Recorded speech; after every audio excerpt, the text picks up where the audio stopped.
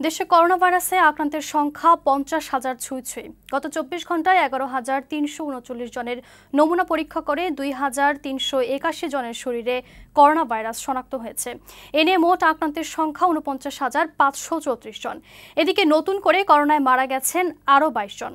এ নিয়ে মৃতের সংখ্যা বেড়ে দাঁড়িয়েছে ছয়শো বাহাত্তর জনে। দুপুরে স্বাস্থ্য অধিদপ্তরের নিয়মিত ব্রিফিংয়ে ভারপ্রাপ্ত মহাপরিচালক নাসিমা সুলতানা জানান, একদিনে সুস্থ হয়েছেন আরও আটশো ষোলো জন। এ নিয়ে দশ হাজার পাঁচশো সাতানব্বই জন সুস্থ হয়ে বাড়ি ফিরেছেন। এ সময় করোনা সংক্রমণ প্রতিরোধে যথাযথ স্বাস্থ্যবিধি মেনে চলার পরামর্শ দেন স্বাস্থ্য অধিদপ্তরের ভারপ্রাপ্ত মহাপরিচালক। গত চব্বিশ ঘণ্টা শনাক্ত হয়েছে দুই হাজার তিনশো একাশি জন। এ পর্যন্ত শনাক্ত উনপঞ্চাশ হাজার পাঁচশো চৌত্রিশ জন। গত চব্বিশ ঘন্টায় মৃত্যুবরণ করেছেন বাইশ জন। এ পর্যন্ত মৃত্যুবরণ করলেন ছশো বাহাত্তর জন।